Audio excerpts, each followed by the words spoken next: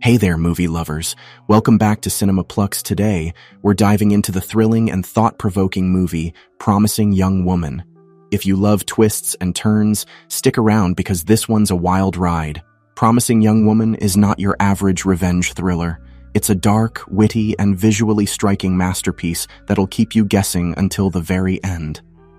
Hey, I said, what are you doing? Nina, Cassie's life takes a turn when she reconnects with Ryan, an old medical school classmate played by Bo Burnham. Their blossoming relationship forces Cassie to confront exploration of consent, accountability, and the consequences of one's actions. It's a film that'll make you question society's attitudes towards sexual assault and justice. The movie forces this one